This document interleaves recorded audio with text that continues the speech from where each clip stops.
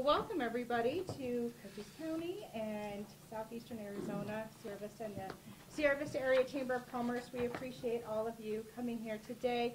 I know it was short notice, but you're here because we all have the same passion, and that is for the issues that we're encountering on our border and the economic impact that those issues will have on our border and already having on our border.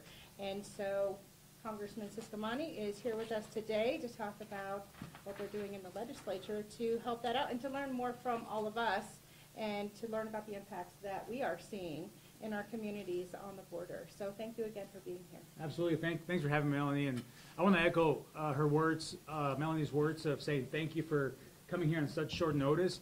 It's, you know, you think you, you can control your schedule once you're in office, and actually it's quite the opposite.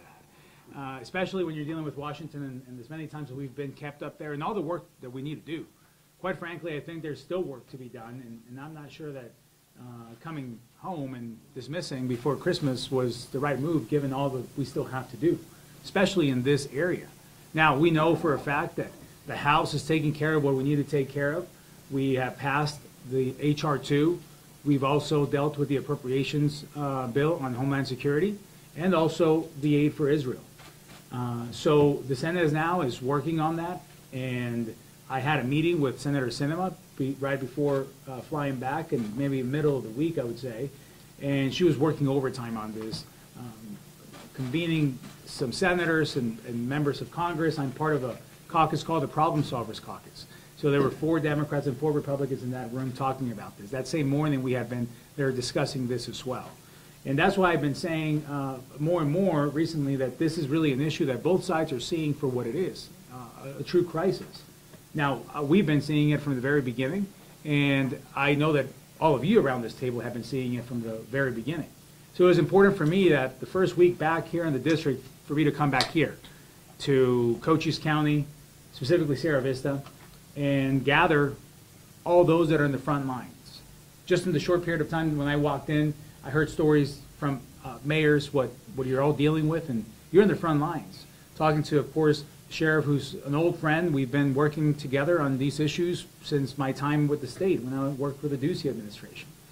And not to mention John Ladd, of course. Many of you also around the table serve on advisory councils for me, from veterans to, uh, to an advisory council, a citizens advisory council. These, all these things are very important to me because I want to continue to hear from you and make sure that my actions and my solutions that I'm proposing are in line with what's really needed. I have an idea of what that is, but no better way to find out through all of you. I also want to thank the press and the media for covering this. I think it's important. I think it's important that, that people know what's happening and what's going on and the solutions that we're looking for. I want to also, also always take the time to introduce my team. Um, we have Fiona here, the young, who you know, she's here full time with with uh, Cochise County, and she's your main point of contact a lot of times. We have CJ, who uh, keeps coming back from different offices. We just recycle CJ over and over again. He knows his stuff. He's been a great advocate for this area. And, and someone that you may not know as well as CJ and Fiona uh, is Caroline Bender. Caroline is my legislative director from Washington, D.C., and she flew in for this meeting. It's that important to me to make sure that my legislative director is here listening to what's going on on the ground, the solutions that you're offering. This is a serious issue. And by talking with the sheriff, there's no, no end in sight. Every week it seems like that a new record gets broken for the wrong reasons. And that's completely unacceptable. And whenever the administration does get involved, whenever do get engaged, whenever they do take some action, is to close ports of entry. And the first one to, well, one of the first ones to go, at least in Arizona, the first one to go was Lukeville Port of Entry. No heads up on this, maybe a, a day or so, and we, they don't go, on and close it. And I call a meeting immediately to meet with Secretary Mayorkas about this and let him know what, how detrimental this would be. He didn't have time for me, so his chief of staff met with me. And we had an in-depth conversation. I think you've been in that boat when they don't have a lot of time for those that are going to let them know things that they may not want to like to hear. But I do appreciate the office meeting with me. I do appreciate the chief of staff meeting with me. And I was very direct on the impact that this will have in our region. And Lukeville's not in my district, it's not close to us here. But one of the things that I told him, I said, I want you to measure the, whatever you think this is getting better, what success are you reaching with this? Because from what I'm seeing is that the illegal traffic continues to come. Meanwhile, the legal traffic, the tourism, the trade, the binational uh, citizens that, that have homes on both sides, the medical tourism, it has all stopped. And the illegal traffic continues to come. And he explained areas that he, they had seen a decrease, and I, and I said, I'm, I'm gonna stop you right there. I really hope that you don't see this as a successful model that you wanna duplicate in other areas then. Because it's not gonna work, and it's not working. No, no, no, of course not. Next morning, they, they closed the pedestrian port in San Ysidro, over in California. They just announced, of course, Eagle Pass, that you just saw the latest one. I get messages from my friends in Nogales saying, is Nogales next? I haven't heard anything on that. But I continue to press on it. And one of the solutions is not just a complaining session. One of the solutions that I offered right off the get-go was to deploy the National Guard. Now, I worked for the state before, as I said. So I know that when the federal government deploys the National Guard, they activate the National Guard. They have, they're responsible for, for the, the financial burden of that. And that's the way it should be, because this is a federal problem. A failure from the federal government, specifically of the Biden administration. And I was obviously ignored on that, and even elected officials in Arizona said it was a bad idea, that they would not do that. Glad to see that Governor Hobbs signed the executive order to activate the National Guard not too long ago. That is the right move. Although late, and I think it should have done, been done earlier, it is the right move. So now you even have Democrat governors taking action and speaking out in desperation against what the Biden White House is doing on this. And all of you end up paying the price directly for it. And that's why we have the people that we have around the table, from law enforcement to mayors to um, chiefs to uh, ranchers to business community. Thi- This is uh, who we have, who we have around the table. And not all Cochise, we have Bruce here, uh, Bracker from, from Santa Cruz County. Because this is something that impacts the entire state. And we have to continue to fight on this. I will not give up on this. This is not something that we just, well, I've done what I can. We've introduced HR two, which deals with a lot with the root cause of the problem. You all know there's some of the appropriations committee. And part of that committee is funding. I mean, that the, the nature of that committee is funding. And, and one of the bills is the border. So when we talk about money for the border, that you'll hear a lot about, resources for the border, I'll always be in favor of that. But those resources cannot come without true policy changes. Because you guys know this, we can add all the money that we can on this, but if people don't start being returned home after an expedited asylum process, then it's all for nothing. And people will continue to be welcomed in with very little uh, uh, processing, and then just sent all around the country. To cities like New York, like Chicago, cities that consider themselves sanctuary cities. And now those mayors are reconsidered, reconsidering what that means in practicality. And I talk about Mayor McCaw often, letting them know that this is not a partisan issue. Maybe it is in Washington. I'm pretty sure it is in Washington. Not here. That, that's one of the most interesting things about this job. That, that when we say we, we travel within two different worlds, it's absolutely true.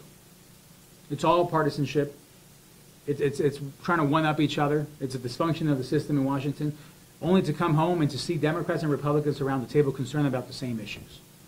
So if there's a picture that I would like the press to walk away with today, is that picture, that we are united, regardless of the party, on the issues that matter to us. And securing a border is an issue that matters to our community. And I want to remind everyone, because have, we have friends here that are, uh, Mayor Huish, of course, from Douglas. Again, not technically in the district, but very much in Cochise County, and through that port flows a lot of trade and commerce into not only the state, obviously CD6, but the entire country. And remember the example that I always give. I see the border in three different buckets. You have immigration. Immigration, which is people coming here to work. You have uh, people that want to come here to pursue uh, a better life, people that want to come here and pursue the American dream, maybe a green card, maybe work temporarily, maybe study. That's immigration. Then you have trade and commerce. For Arizona, Mexico's our number one trading partner, times four, over $17 billion of two-way trade. Right now, during this season, I bet you we go to your mall here, and we're going to see a lot of license plates from Mexico. We want those shoppers. We want those people staying at our hotels. And then we have another bucket, which is security. The really bad actors. The ones that are working on hurting our country, hurting those migrants. How do I know that and why do I say that? The New York Times broke a story of 85,000 minors that disappear within the system. So you can't tell me this is not a humanitarian problem too. Did you see the minor, the 16-year-old, that died in the, in the, working at a plant? And he got that job as a 32-year-old identity? That's human trafficking right there. They're trying to track down where he came from, meaning through this wave or not. But when we have over 10 million people in the last two and a half years crossing this way, it's hard to argue that there's not a lot of people in there that are being trafficked and suffering from this. Not to mention what we're going through here. You know this, I'm an immigrant. I want this system to work. It should work. And we should improve it. But every time that we continue to allow these waves of people that come in illegally, it actually hurts those that are waiting, that have been waiting, and that will continue to now wait longer because they turn in their application like they were asked to do. So there is no winning in this except the cartels. They are the ones that are winning in this. And I am part of a task force as well that was created within Congress, and I was appointed to that called the, uh, the Tackling the Mexican Cartels Task Force. So we get to look into the activities of the cartels and how they profit from this business. And the human trafficking business is taking over the drug trafficking business. While fentanyl continues to be on the rise. So I tell you all this, is it all, all bad news? I mean, it, it looks, sure, the evidence sure points that it's not getting better. But I'm there working on this, fighting on this, and at every level, so are you. And that's why this roundtable is important. They kept us up there for longer than we needed to be through all of these different things that were happening. We couldn't come back to the district for a while. It's frustrating. But I've kept in touch with many of you through Zoom meetings or phone calls, and I appreciate your feedback. But this meeting right here is important to me. I wanted to let you know just real quick what I've been doing, where my mind is, is on this, and to, and, and to let you know that what worries me the most is that there is no end in sight on the way that this administration has been handling this issue. Not once have we felt that things are getting better. At least I haven't felt that way. So, with that, I would love to hear from each of you, all of you, and you tell me what it is that you're going through, what I need to know to make sure that we take this information home with my team legislatively through resources? What are the right policies that we need to implement on this? I have an idea, but I want to know from the boots on the ground what are the best ways to handle it. So with that, I would love to um, turn it over to you all. And, and also, before I do, though, uh, is there anything you want to jump in on?